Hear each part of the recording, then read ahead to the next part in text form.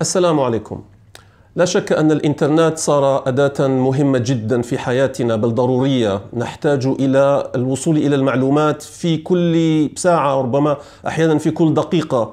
بل الصفحات والمواقع التي ندخل عليها في يوم واحد تتعدى العشرات ربما المئات. وبالتالي صار من المهم جدا أن نعرف كيف نصل إلى المعلومات بطريقة آه، أفضل بطريقة أضمن بطريقة أسرع آه، للحصول على أفضل المعلومات حقيقة. طبعا آه، لا يسعني لن أتمكن من تقديم طرق وشروحات مفصلة. تدخل هنا تفعل كذا تنقر على هذا إلى آخره لأن هذا سيأخذ منا وقتا طويلا جدا وليس هذا هدف طبعا هذه الحلقات. إنما سأقدم لكم آه، مبادئ عامة مبادئ رئيسية جوهرية. أعتقد أن كثيرا منها لن تكون معلومة للكثير منكم ربما بعض منكم يعني فعلا كسبوا خبرة في هذا. ولكن معظم الناس أتوقع أنهم لا يعرفون كل هذه المبادئ حتى. وبعض التوجيهات بعض النصائح سأقدم لكم. وبعض التعليقات أيضا أعتقد ستجدونها مفيدة إن شاء الله. أول فكرة أول مبدأ أريد توصيلها إليكم هو أن البحث على الإنترنت لا يجب أن يقتصر على جوجل لعدة أسباب. طبعا الآن جوجل صار يعني كأنه هو مرادف لفكرة البحث بل باللغة الإنجليزية يقول uh, when you google عندما تبحث بالجوجل. يعني كأنه البحث يعني يتم مباشرة بالجوجل. يقول I googled كذا. صارت فعل صار صارت كلمة داخلة في القاموس. ولماذا هذا؟ لأن جوجل فعلا تمكن بطرق ذكية بإمكانيات ضخمة تعددت الآن وصارت واسعة جدا من تخزين من البحث. اولا طبعا جوجل يبحث في كل ثانية يبحث عن كل ما ينشر على الإنترنت ويخزن صفحات منه ويعمل منه إندكس يعني يعمل منه تصنيف حتى إذا طلبت أنت معلومة معينة هو لا يذهب ويعمل كل هذا البحث إنما يذهب إلى التصنيف الذي هو وضعه ويتم تحديثه في كل دقيقة. يذهب يذهب ويقول آه هذه الفكرة أو هذه المعلومة هذا الاسم هذا العنوان أعرف أين هو موجود موجود هنا وهنا وهنا وهنا. فلذلك مباشرة يعطيك قائمة المراجع التي تهمك والتي ترتبط بما طلبت.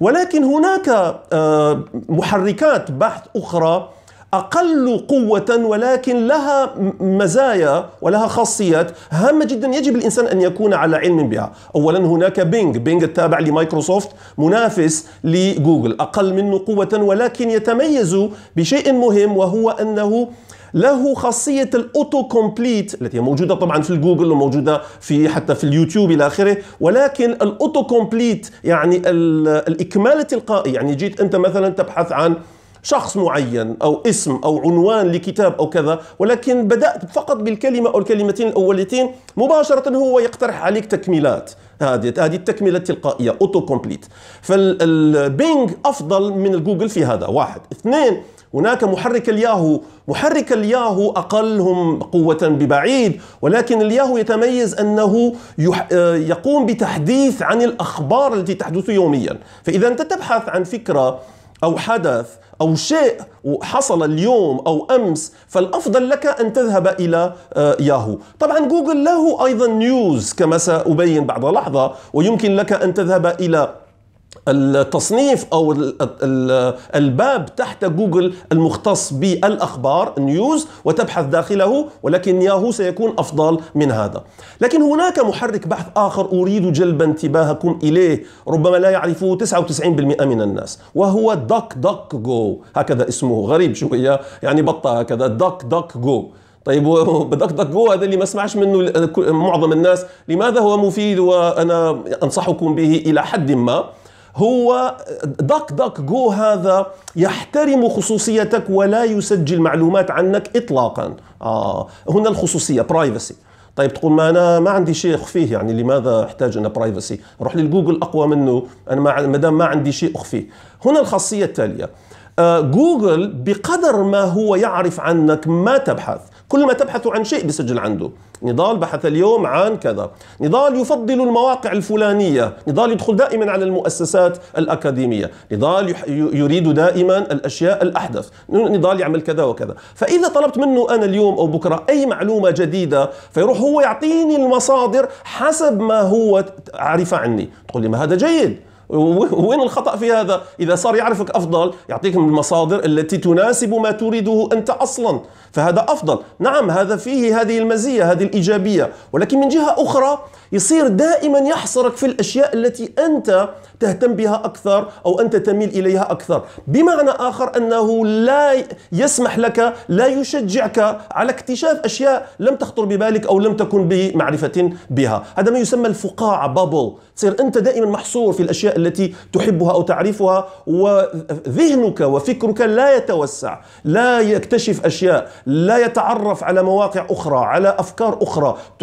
تتركك تغير رأيك ربما أو تكتشف أشياء تقول آه والله عمري ولا سمعت بهذا الشخص ولا سمعت بهذا الموقع ولا سمعت بهذه الفكرة أو هذا الكتاب خليني أقرأ أتعرف عليه. فدق دق جو لأنه لا يسجل عنك أي شيء فهو يقترح عليك كل ما هو متاح. وبالتالي دق دق جو بالمناسبة أي شخص في أي مكان في العالم أي مكان في أي يوم يطلب معلومة عن فكرة معينة يعطيه نفس الشيء. أما جوجل ويمكنكم أن القيام بهذه التجربة لو أنت مثلا وأخوك أو صديقك اتصل عليه يقول له طيب خلينا ندخل أنا وياك على جوجل ونبحث عن هذه العبارة أو هذا الاسم أو هذه الفكرة. وقل لي أنت العشرة أو عشرين رابط الأولى التي سيقترح عليك لهذا نفس الفكرة ستجد أنه ما اقترح عليك أنت وما اقترح على شخص آخر سيكون مختلفا. فهذه فكرة آه، مهمة جدا. ثانيا هناك محركات بحث تخصصية. هذه مهمة جدا. إذا أردت أنا أن أبحث في آه، المراجع الأكاديمية أبحاث علمية منشورات علمية آه، مقالات آه، ذات جودة متخصصة أو كذا فلا أبحث أنا في الجوجل. أبحث في جوجل سكولر. آه جوجل العلمي أو الأكاديمي البحثي هذا. فهذا محرك خاص. طب ممكن تقول لي طب أنا أنا مش متخصص أنا مش باحث لماذا أدخل على جوجل سكولر إذا كنت تبحث عن معلومة علمية أو معلومة موثوق فيها تبحث أنت مثلا عن شيء له علاقة بالكورونا فيروس وله علاقة باكتشاف المريخ أو في ناس قالوا الأقمار الصناعية تعمل كذا أو تجسس أو كذا. تروح أنت تقول أنا أريد أن أفهم هذا الموضوع جيدا. إذا أردت أنت أن تذهب إلى موضوع ما وتفهمه جيدا قال vaccine مثلا تطعيم تلقيح أو غيره تروح تدخل على جوجل سكولر هو اللي يعطيك هذه المراجع الرصينة الأكاديمية الموثوق فيها. واحد. اثنين هناك موقع آخر أيضا مهم جدا ليس تخصصي لا يعرفه أيضا 99% من الناس. اسمه انترنت أركايف إيش هو الإنترنت أركايف هذا؟ أرشيف الإنترنت. معنى هذا موقع بسيط جدا archive.org تدخل عليه وتدخل أنت. أنا أبحث عن شخص أبحث عن عنوان كتاب أبحث عن موضوع إلى آخره. طيب فيقترح عليك هو مجموعة. أقل بكثير من جوجل وياهو بينج إلى آخره. بتقول طب ما الفائده إنه اولا هذا يعطيك المراجع خاصة المتخصص كثيرا بالكتب. ثانيا يعطيك كل المراجع المرئية والصوتية فيديوهات وأوديو. وأهم من هذا كله له جزء اسمه way back search. Way back بمعنى الرجوع إلى الماضي. كيف الرجوع إلى الماضي؟ نفترض مثلا أن هناك موقع أنت دخلت عليه السنة الماضية ووجدت فيه مقال معين أو فكرة ووجدتها وقرأتها ثم بحثت عنها اليوم مش موجودة. طب أنا متأكد أني قرأتها هنا في هذا الموقع بتاع مش عارف المؤسسة الفلانية. طب ممكن شالوها. إذا شالوها هل تدرون أن كل الصفحات التي وضعت يوما ما في الإنترنت حتى إن شطبت اليوم فهي مخزنة في مكان ما. وين مخزنة؟ مخزنة في الإنترنت المخزون هذا المدفون. فبوسعك أن تدخل على أركايف وتقول له الفكرة الفلانية في موقع كذا. تحدد له الموقع. فيروح هو على الموقع هذا ويدخل ويبحث لك هذه الفكرة وين موجودة في كل الصفحات الحالية والماضية بل يعطيك قدرة على حصر البحث هذا في هذا الموقع حسب السنوات. فإذا قلت له مثلا ابحث لي من 2018 إلى 2019 لأنه أنا فاكر أنه شفتها السنة الماضية. في 2018 19 كذا هكذا. 2020 مش موجودة. فيجي هو يحصر البحث ويطلع لك يا هاي الصفحة اللي كنت بتقرأ. آه موجودة. كانت موجودة. الآن مش موجودة. إنترنت اركايف مهم جدا. طيب الشيء الثاني أنه يمكن البحث طبعا على الإنترنت عن أشياء مختلفة. تبحث عن صفحات عن مقالات تبحث عن صور تبحث عن كتب تبحث عن خرائط تبحث عن فيديوهات تبحث عن ما تريد. وكل واحد هذا له أدوات. آه مهم جدا الأدوات. أدوات البحث. كيف أدوات البحث؟ تجي أنت مثلا وتحدد التاريخ. تقول له أنا أريد فقط هذا الموضوع. أريد آه، صور نشرت هذا الشهر. أو هذه هذه السنة. على اليوتيوب أيضا هذا موجود كثيرا. فيقول لك مثلا أنك يمكن لك أن تدخل وتبحث حسب التاريخ حسب هذا الأسبوع هذا الشهر هذه السنة أو تقول له من سنة كذا إلى سنة كذا. أو تقول له مثلا أريد إذا تبحث أنت عن صور أريد صور ذات جودة عالية أو أريد صور متحركة animated أو أريد فيديوهات قصيرة. لا أريد فيديو ولو كان قديما لكن أريد قصير. أو أريد فيديو حديث جدا ولو كان طويلا. أو أريد كذا وكذا. فيمكن استغلال هذه الأدوات. هذه مهمة جدا.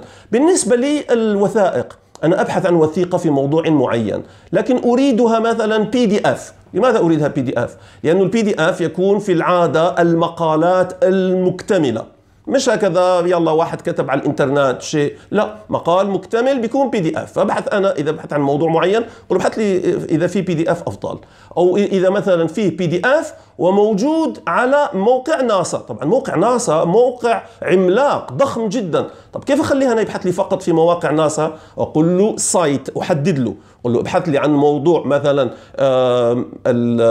Mars atmosphere الغلاف الجوي للمريخ. PDF فهذا بقول له document type أو document file type قل له نوع الوثيقة نوع الملف إنه يكون PDF أو يكون PowerPoint أو يكون ما ما أريد أحدد أنا وأقول له site site نقطتين ناسا dot org فهو راح يبحث لي داخل ناسا فقط وطبعا هي مئات المواقع داخل ناسا ويبحث لي عن المواقع عن الملفات اللي هي من نوع PDF فقط أو PowerPoint ويبحث لي فقط عن ما يتعلق بالغلاف الجوي للمريخ. فهذه أدوات تحديد البحث وهكذا يصل الإنسان إلى ما يريد بطريقة أدق وبطريقة آه، أسرع. يمكن أن تحدد أنت الجودة تحدد المصدر تحدد آه، المدة تحدد تاريخ النشر أو التحديث إلى آخره إلى آخره. آه طيب. وماذا مثلا إذا أنا حبيت أدخل على موقع وهذا الموقع يعني معطل الآن. هكذا down أقول لك down معطل. يا الله أنا أريد هذا الموقع. أنا أعرف إنه هذا الموقع فيه الملفات اللي أنا بحتاج عنها أو المعلومات اللي ابحث عنها. فتجي أنت داخل جوجل تقول له cache cache. فإذا مثلا بحث لك هو طلبت أنت معلومة وأعطاك مراجع معينة. عجبك أنت هذا المرجع أنا أريد هذا لأن هذا الموقع هذا أنا أثق فيه ممتاز جدا. طب أعطيني هذا أقول لك هذا داون آه. فهناك إمكانية أنك تعمل عليه نقر هكذا على الجنب رح نبين لكم ويقول لك كاش. كاش معناه المخزن المخزن. قد يكون التخزين آخر تخزين جوجل عملوا لهذا الموقع قد يكون أمس قد يكون من أسبوع حسب يعني التحديثات اللي تحدث في هذا الموقع لكن على الأقل أنت ما تبقى موقف. ممكن لك أن ترجع وتبحث في آخر تخزين لهذا الموقع عن المعلومات التي كنت آه، تبحث تبحث عنها. يمكن أيضا أن تحدد البحث ب آه، بما آه، يسمى بال Boolean parameters أو Boolean يعني كلمات هكذا ألفاظ and or minus مثلا أنا لا أريد شخص معين. يعني مثلا أنا أبحث عن شخص اسمه مثلا أحمد كذا لكن نسيت اسمه الكامل. أحمد. فلكن لما عن أحمد هو يجي يعطيني أحمد مشهور أحمد فلان هكذا. فيقول له أنا مش هذا مش هذا. فكيف أقول له أنا مش هذا؟ أعطيني أحمد كل الأحمدين الآخرين مش هذا. أي أحمد؟ قل له أحمد minus فلان. أحمد حسن مثلا. أنا أنا لا أريد أحمد حسن. فأحمد minus حسن هكذا. أو أريد أنا مثلا الصفحات اللي فيها أحمد وعلي مش أحمد أو علي. يعني أنت لو تحط أحمد علي وراح يبحث كل ما هو أحمد وكل ما هو علي. لكن إذا قلت له أحمد and علي راح يبحث لك فقط الصفحات اللي فيها الاسمين في نفس الصفحة أحمد وعلي. آه الشيء الآخر المهم جدا هو البحث الآمن. آه البحث الآمن safe search safe search إذا كنت أنت مثلا لا تريد أنه في البحث عن صور خاصة عندما نبحث عن صور أو تبحث عن موقع عن موضوع معين يطلع لك صور آه، خادشة للأخلاق أو للأدب مثلا. صورة مش مش مناسبة. أو موقع مش حاب أنا هذا النوع من المواقع ده مواقع بتاع مش عارف أنا آه، لقاءات وبنات وغيره. لا أريد هالنوع من المواقع. طبعا في معظم بلداننا العربية هذه المواقع محجوبة أصلا. أنت لو يعني فيه كلمة أو اسم معين لشخص وفيه صورة أو فيه موقع فيه هذا الشخص هذا ولكن صورة مش كويسة. مواقعنا في في العالم العربي معظمها محجوبة هذه الصفحات. فيه يعني رقابة وتشطب وما تخلي هذه الصفحات أصلا تطلع لنا. لكن فيه أماكن كثيرة في العالم العربي وفي أحيانا صفحات واحيانا مواقع وصور تطلع وهي آه، خادشة للآداب. فماذا أفعل؟ أقول أنا الجوجل أعمل لي safe search البحث الآمن يعني أنت أعمل فلترة. لا تستنى أنت الدولة تعمل لي فلترة أنت أعمل فلترة. لا تطلع لي صور أو مواقع مش كويسة. فهذا مهم جدا. مثلا في في ثقافتنا في عائلاتنا إلى آخره إلى آخره هذا مهم جدا. المهم أنا أردت أن أعطيكم هكذا توجيهات أو نصائح عامة مبادئ عامة عن البحث على الإنترنت. أريد أن ألخصها لكم الآن في نقطتين أو ثلاثة هكذا في الأخير بشكل سريع. واحد عدم الاكتفاء وعدم حصر البحث على جوجل. استخدموا محركات البحث الأخرى المتخصصة وغير المتخصصة التي فيها آه، خصوصية يعني آه، حماية للخصوصية واللي ما فيها حماية للخصوصية. فنوعوا حسب ما يريد الإنسان حسب ما مثلا أنا اليوم أريد أن أوسع آه، أفقي. لا أريد أن جوجل دائما راح يعطيني نفس المواقع اللي أنا بهتم فيها. لا أنا أريد أن أكتشف أكثر. فراح أدخل على DuckDuck قل له طيب أعطيني معلومات عن المعلومة الفلانية. أو أنا أريد لا أنا أريد فعلا أوصل إلى شيء دقيق من النوع اللي أنا ببحث عنه في العادة. فروح جوجل جوجل أعطيني معلومات عن كذا فهو يعرف أنا في العادة ماذا أريد فراح يعطيني وهكذا. الشيء الثاني آه أنه يجب استخدام أدوات البحث التدقيقية التدقيقيه التي تدقق في المصدر التي تدقق في نوع الوثيقة. ماذا تريد أنت؟ تريد PowerPoint تريد PDF تريد فيديو تريد آه، مدة طويلة قصيرة حديث صدر مؤخرا إلى آخره. وتريد آه، يعني معلومات معينة أنت في بالك فتحددها أنت بالتدقيق في آه، ألفاظ وأدوات البحث هكذا. إن شاء الله تكونون استفدتم هكذا بهذه الجولة السريعة حول البحث على الإنترنت جوجل وغيره. شكرا لكم على المتابعة. السلام عليكم.